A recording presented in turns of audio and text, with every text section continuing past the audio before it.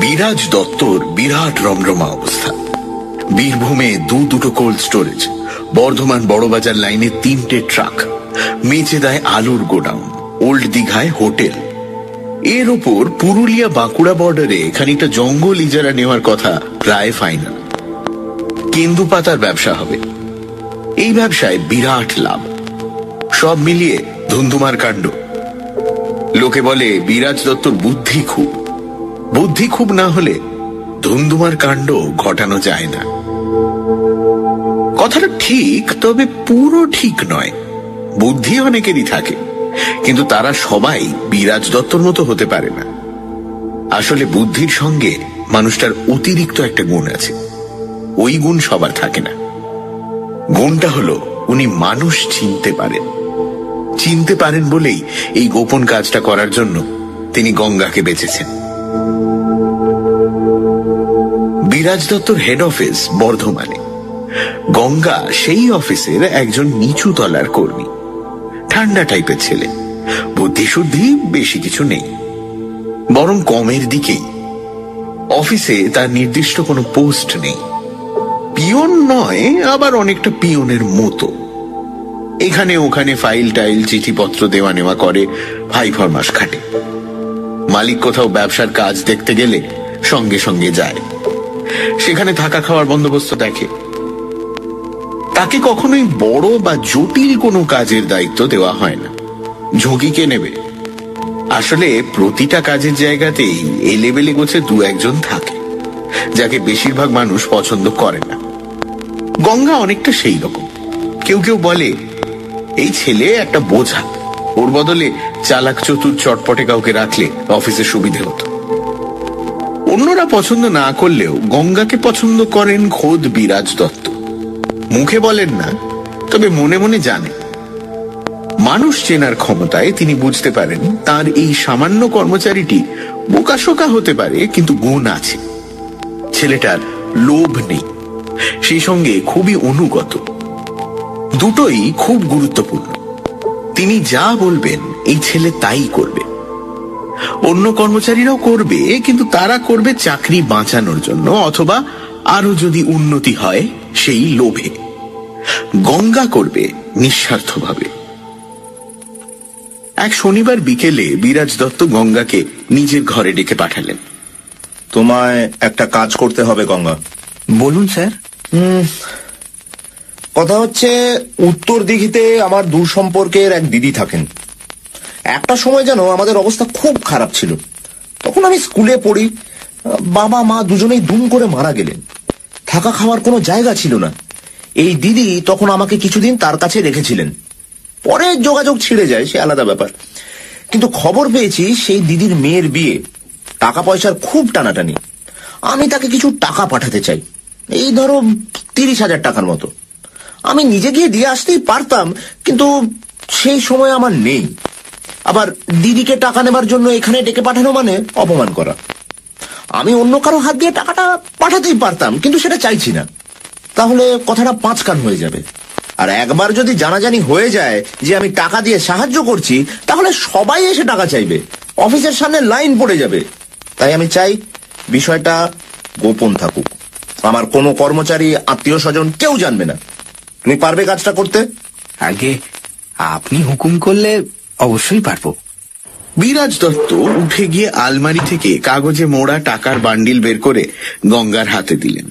শোনো এটা একটা ব্যাগে ভরে রাখো হ্যাঁ? সাবধানে রাখবে।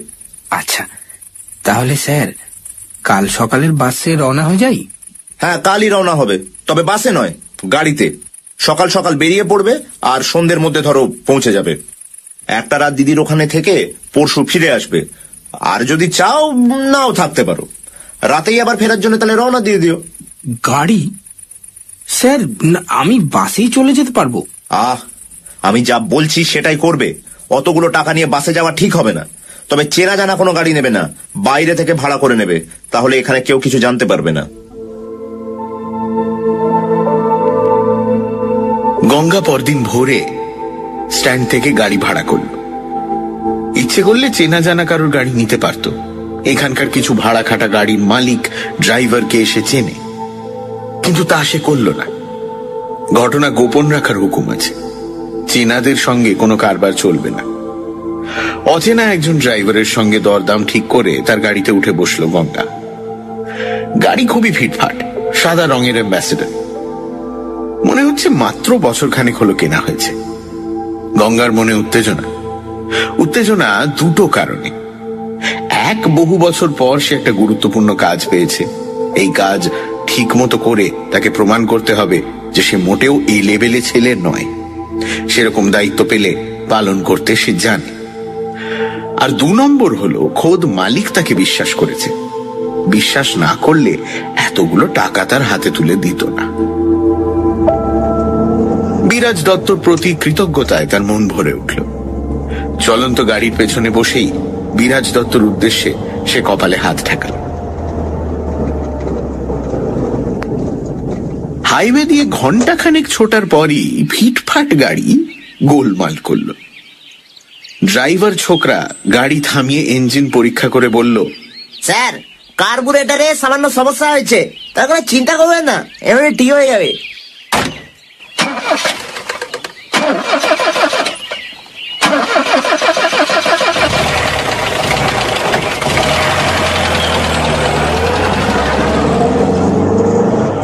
সত্যি সত্যি খুব তাড়াতাড়ি গাড়ি ঠিক হয়ে গেল এবং আবার ছুটতে শুরু করল।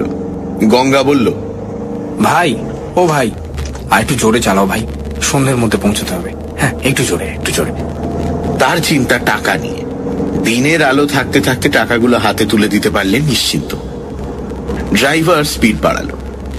না, অচেনা হলেও ড্রাইভার ছেলের হাত পাকা। দুটো বাস, একটা ট্রাককে নিখুঁত ভাবে ওভারটেক করল হর্ন না বাজিয়েই। গঙ্গা সিটে মাথা এলিয়ে চোখ বুঝল এবার একটু ঘুমিয়ে নেওয়া যেতে পারে। না, ঘুমিয়ে নেওয়া গেল না। একটু পরেই গাড়ি আবার গোলমাল করল।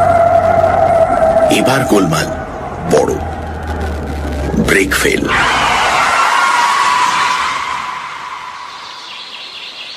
না দেব না।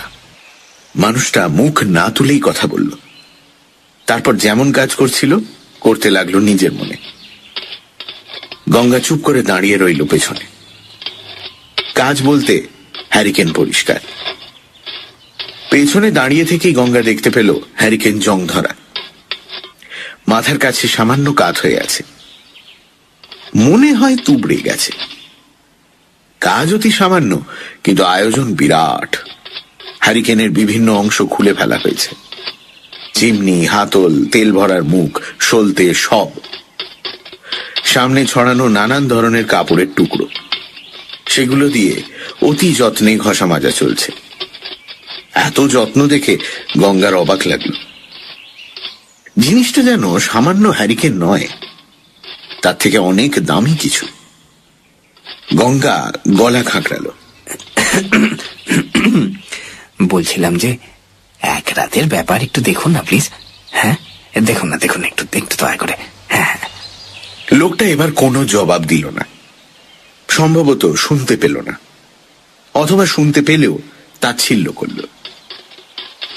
হাতের কাপড় হ্যারিকেনের গায়ে বোলাতে লাগল আগের মতো।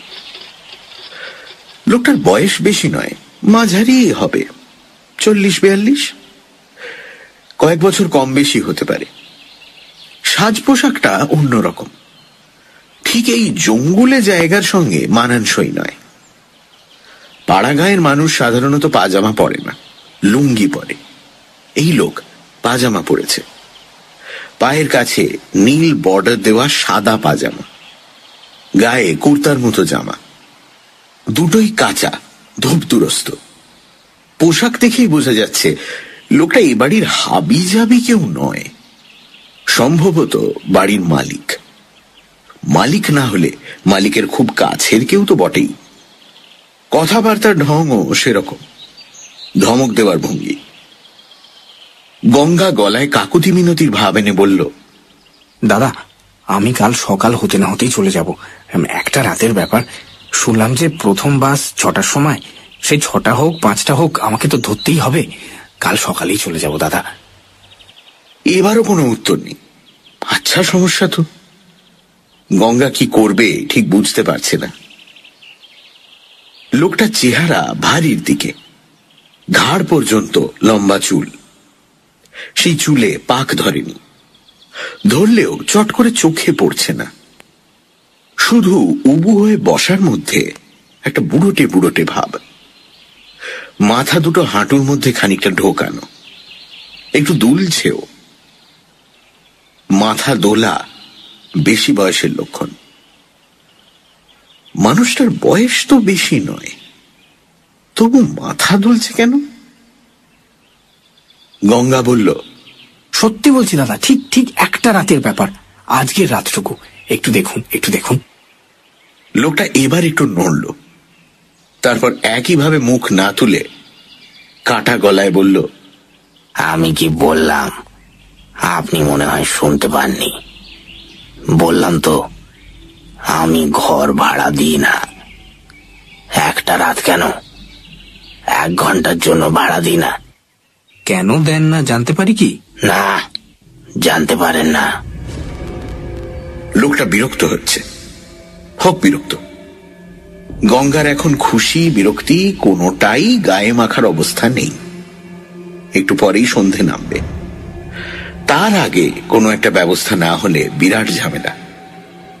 এই অচেনা, অজানা, শুনশান জঙ্গুলে জায়গায় কোথায় রাত কাটাবে তা নিয়ে সে মোটেও চিন্তিত নয়।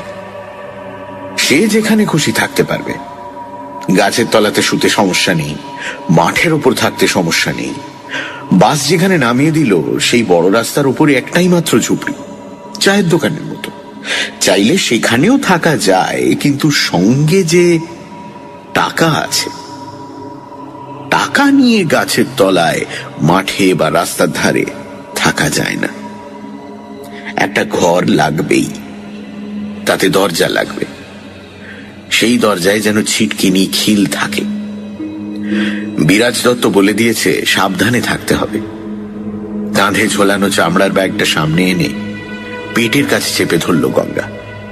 ঘরের জন্য চেষ্টা চালাতেই। অন্য কোথাও যে যাবে, সে উপায় নেই। দাদা দাদা, আপনি ঘর না দিলে বিরাট সমস্যায় পড়ে যাব, দাদা। আসলে ঘর লাগার কথা ছিল না। বর্ধমান থেকে সরাসরি গাড়িতেই আসছিলাম। মাঝপথে যে এরকম বিপদে পড়ব বুঝতে পারিনি দাদা। বর্ধমান পেরোতে না পেরোতে গাড়ি গেল বিগড়ে। হ্যারিকেন থেকে চোখ না সরিয়েই রাগী গলায় লোকটা বলল আহ আমাকে এত সব কথা বলছেন কেন? আমি কি শুনতে চেয়েছি? না সে শুনতে চাননি। তবু বলছি মানে যদি আমার সমস্যাটা একটু বুঝতে পারেন। আমার মনে হচ্ছে আপনি পারবেন আপনি আপনি বুঝতে পারবেন। গাড়ি থেমে যাওয়ার পর ড্রাইভার পরীক্ষা টরীক্ষা করে বলল কার্বোরেটরের সমস্যা হয়েছে। ড্রাইভার ছোকরাটি কাজের। সেই সমস্যা সারিয়ে গাড়ি চালু করল খুব তাড়াতাড়ি। তারপর জোরেই ছুটছিলাম। কিছুক্ষণ যাওয়ার পর আবার সমস্যা। এবার বড় ঘটনা। একেবারে ব্রেক ফেল। আমি আর দেরি করিনি। ওখান থেকেই বাস ধরলাম। কন্ডাক্টর বলল, বাস উত্তর দিকে যাবে না। আমি বললাম, যতদূর যায়, ততটা যাব। সেখান থেকে না হয় উত্তর দিঘির বাস ধরা যাবে। তা সেই বাসও গোলমাল করল। বাসে নয়, গোলমাল করল পথে। কোথা যেন অবরোধ টবরোধ ছিল। সব মিলিয়ে সাড়ে তিন ঘণ্টা লেট হয়ে গেলাম। সেই বাস এখানে নামিয়ে দিয়ে গেল ঘুরে। বলল, এখান থেকেই উত্তর দিঘির বাস পাওয়া যাবে। হ্যারিকেনের চিমনির ভেতর কাপড় ঢুকিয়ে আলগোছে হাত ঘোরাতে লাগল লোকটা। থমথমে গলায় বলল উত্তর দিঘির বাস ধরে চলে গেলেই তো পারতেন। আমি তো আপনাকে সমস্যায় ফেলিনি। গঙ্গা স্বস্তি বোধ করল। এতক্ষণে মনে হচ্ছে ম্যানেজ করা গেলেও যেতে পারে। তবে লোকটা মুখ ঘোরালে আরও সুবিধে হতো। চোখের দিকে তাকিয়ে কথা বলা যেত। চোখের দিকে তাকালে মানুষের মনকে প্রভাবিত করতে সুবিধে হয়। লোকটাও হয়তো তার মুখ দেখে ঘর দেওয়ার গুরুত্ব বুঝতে পারত। গঙ্গা নতুন উদ্যমে শুরু করল। ছি ছি ছি এ বাবা আপনি কেন সমস্যায় ফেলবেন? আরে গাড়িটা ব্রেক ফেল না করলে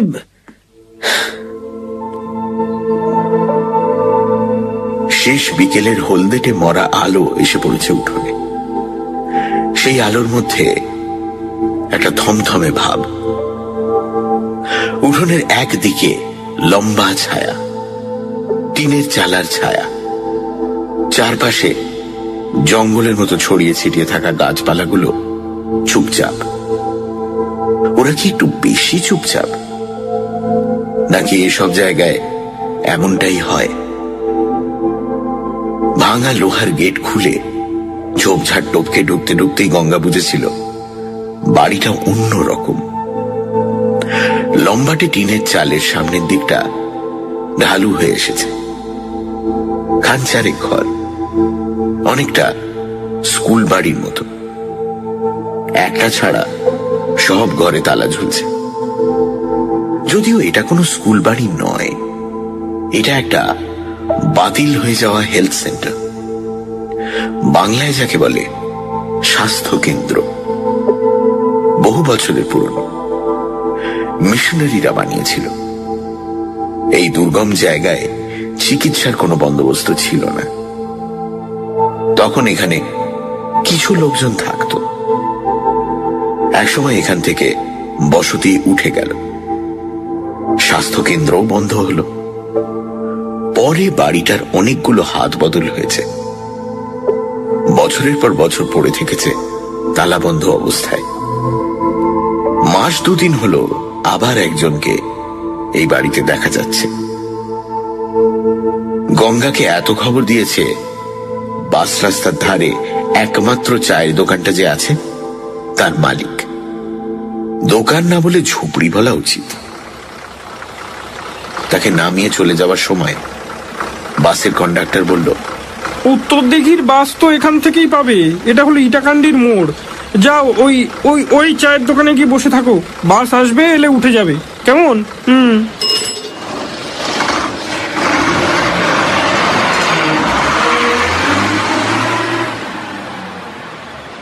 ঝুপড়ি চায়ের দোকানে ঢুকে চা চাইতে দোকানদার বলল, চা হবে না। এখানে আর লোকজন নেই। সে দোকান বন্ধ করে চলে যাবে। গঙ্গা আঁতকে উঠল। তাহলে উত্তর দিঘির বাস? তাও চলে গেছে। কাল সকালের আগে কিচ্ছু নেই। মাথায় বাজ পড়ল গঙ্গার। এখন উপায়?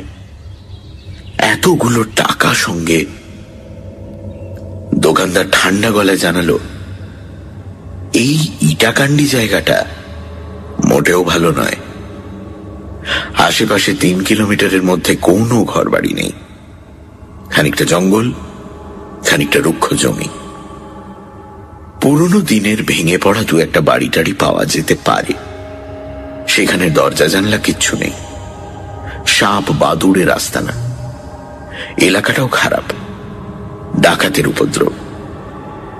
কেউ ভুল করে চলে এলে সব খুইয়ে যেতে হয়। গঙ্গা পড়ল ভীষণ চিন্তায়। সে একা থাকতে পারে, কিন্তু এতগুলো টাকা নিয়ে ভাঙা বাড়িতে থাকা যাবে না। দোকানদারকে সে অনুরোধ করল, তার বাড়িতে যাওয়া যাবে কিনা। দোকানদার বলল, সে আজ নিজের বাড়ি যাবে না। মুকুন্দপুরে শ্বশুর বাড়ি যাবে। গঙ্গা যদি চায় তার সঙ্গে যেতে পারে। তবে মুকুন্দপুর হল উত্তর দিঘির উল্টো পথে। বাসও এখান থেকে পাওয়া যাবে না। দু কিলোমিটার সাইকেলে যেতে হবে। সাইকেল জমা রেখে বাস ধরতে হবে। গঙ্গা রাজি হয়নি। রাজি হলে চলবে কি করে? উত্তর দিঘি থেকে আরও দূরে সরে যাবে সে। তখন দোকানদারি এই বাড়ির সন্ধান দিল।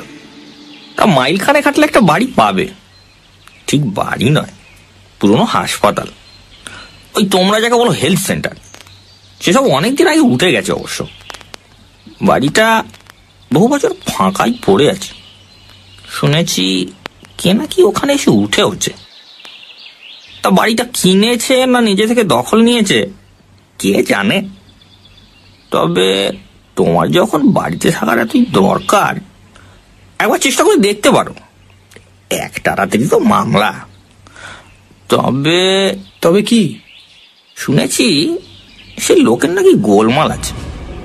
সহজে কেউ ওদিকে যায় টায় না? বাড়িটা এড়িয়েই চলে। পুরনো হাসপাতাল তো। কত লোকে ওখানে মরেছে টরেছে লোকে বলে, তারা নাকি এখনও ওই বাড়িতেই আছে। ঘুর ঘুর করে। যে লোকটা ওই বাড়িটা দখল নিয়েছে, তাকে নিয়েও তো সন্দেহ। গঙ্গা হেসে বলল, ভূতের কথা বলছো নাকি ভাই? না, ওসবে আমার ভয় নেই। আগে ছিল। এখন আর নেই।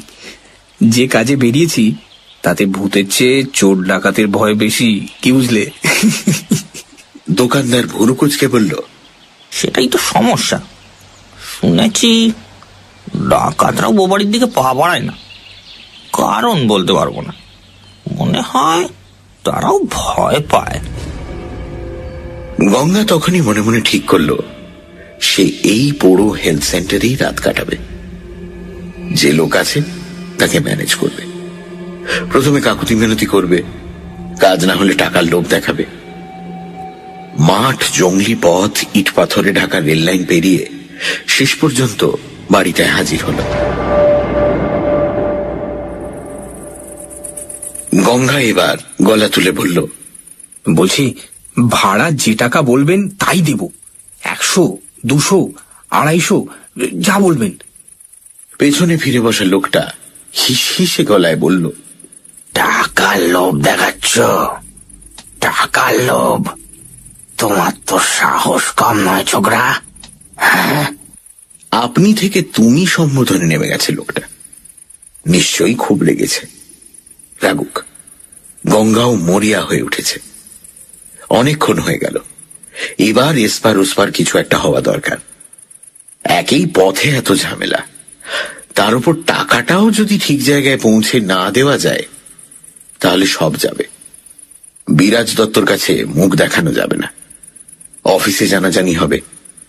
সবাই বলবে, একে কাজটা দেওয়াই ভুল হয়েছে।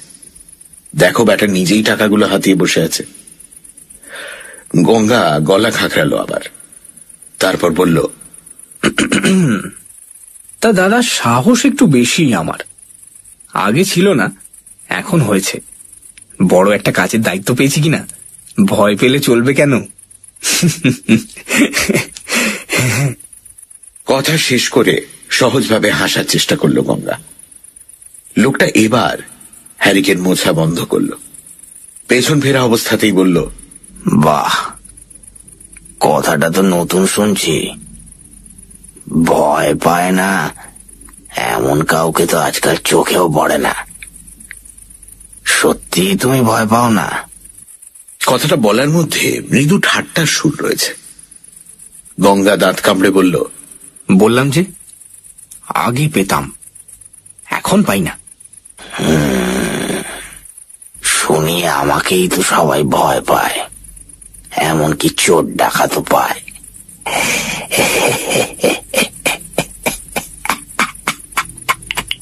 লোকটা খোনা গলায় হাসল। কেন? গঙ্গা গল্প জমানোর চেষ্টা করে। কিন্তু সে নিশ্চিন্ত লোকটাকে ম্যানেজ করা হয়ে গেছে। নইলে রাগ বিরক্তি থেকে সরে গিয়ে এভাবে সে হাসত না। এবার ঘর খুলে দেবে। হালকা অন্ধকার ঝুঁকে পড়েছে বাড়িটার উপর। সবকিছুই ছায়া ছায়া লাগছে। উবু হয়ে বসা লোকটাকেও। কেন আমাকে ভয় পায়? আমি ঠিক জানি না। তবে শুনেছি ওরা বলে আমি নাকি মরা মানুষদের সঙ্গে থাকি। গঙ্গা আওয়াজ করে হেসে উঠল। মরা মানুষ লোকটা হ্যারিকেনে চিমনি লাগাতে লাগাতে স্বাভাবিক গলায় বলল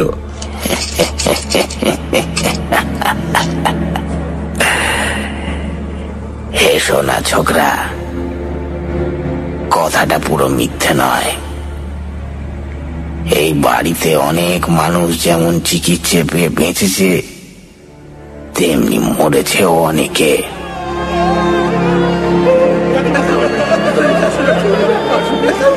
Thank you. অসুখ বিসুখে তো মরতেই হয়। সব আত্মা যেতে পারেনি। তারা এখানেই থাকে। আমার সঙ্গে থাকে। আমি নাকি বাড়িটা কিনেছি, ওদের সঙ্গে থাকব বলে।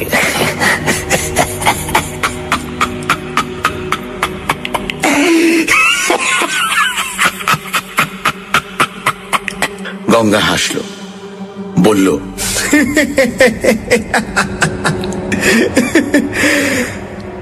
আমিও থাকব। হাসি থামিয়ে লোকটা খানিকটা আপন মনে বলল বুঝতে পেরেছি। খানিকটা দেরি হলো এই যা। বলছি আপনি কি আমাকে একটা ঘর খুলে দেবেন? অন্ধকার তো হতে চলল। হ্যাঁ দেব দেব। তবে দাঁড়াও আর একটু অন্ধকার হোক। আরও কিছুটা সময় চুপ করে দাঁড়িয়ে রইল গঙ্গা। অন্য কেউ হলে গা ছমছম করত। গঙ্গার করছে না। দুহাত দিয়ে বুকের ওপর সে টাকা ভর্তি ব্যাগটা চেপে ধরে আছে। গা ছমছম করার সুযোগ কোথায় তার? যত তাড়াতাড়ি সম্ভব ঘরে ঢুকে খিল দিতে হবে। অন্ধকার ঘন হচ্ছে। কোথায় যেন পেঁচার মতো কি একটা ডেকে উঠল তীক্ষ্ণ গলায়। পাশের ঝাপসা গাছটা থেকে ঝটপট আওয়াজ করে উড়ে গেল কোন রাত পাখি। কটা বাদুর গোঁত্তা মেরে চলে গেল বারান্দায়। চাপ চাপ অন্ধকার ফেলে গেল। লোকটা হ্যারিকেনের সব কিছু লাগিয়ে ফেলেছে। এবার নিশ্চয়ই জ্বালাবে। না, জ্বালালো না। হাতলটা ঝুলিয়ে ধরল শুধু। হঠাৎ দেখলে মনে হচ্ছে খানিকটা অন্ধকার হাতে নিয়েছে। লোকটা উঠে দাঁড়িয়ে মুখ ফেরালো। মুখে আলাদা কিছু নেই। আর পাঁচজনের মতোই। অন্ধকারে দেখা যাচ্ছে, দিন কয়েকের না কামানো খোঁচা খোঁচা দাড়ি, চোয়ারে গাল, লম্বা নাক। শুধু চোখ দুটো মারাত্মক, ভয়ঙ্কর। গর্তে ঢোকা, জল জলে। মনি দুটো নড়ে না, পাথরের মতো। নেই নাকি গা শিরশির করে ওঠে। মনে হয় এই চোখ মানুষের নয়, এই চোখ অন্য কিছু, অন্য কারুর। লোকটা ঠোঁটের কোনায় একটু হাসি। গঙ্গাও হাসল। এসো, তোমার জন্য ঘর খুলে দি এসো। লোকটার গলায় আতিথেয়তার সুর। যে খানিক্ষণ আগেও রেগে বিরক্ত হয়ে গঙ্গাকে তাড়িয়ে দিতে চাইছিল, তার গলাই এখন নরম। এত যত্ন করে কথা বলছে। একেবারে কোনার ঘরটার তালা খুলতে খুলতে লোকটা নিচু গলায় বলল, চিনতে দেরি হয়ে গেল। অন্ধকার না হলে চিনতে পারি না। কিছু মনে করো না।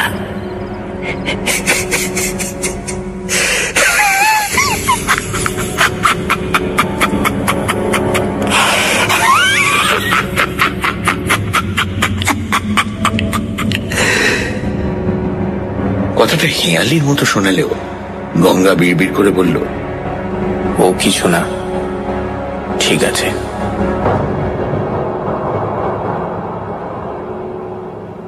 বিরাজ দত্তর কাছে খবরটা পৌঁছতে ঠিক একদিন দেরি হলো। হাইওয়েতে ব্রেক ফেল করা সাদা অ্যাম্বাসেডর গাড়ি ট্রাকে ধাক্কা মেরেছে মুখোমুখি। ড্রাইভার এবং যাত্রী দুজনেই ঘটনাস্থলে মারা গেছে। ড্রাইভারের মুখ বোঝা গেলেও যাত্রীকে চেনা যায়নি। বর্ধমান পুলিশ মর্গে গিয়ে বিরাজ দত্ত তাকে শনাক্ত করলেন। ঘড়ি, মানিব্যাগ, পেন সব পাওয়া গেল। শুধু তিরিশ হাজার টাকা ভর্তি ব্যাগটা পাওয়া গেল না।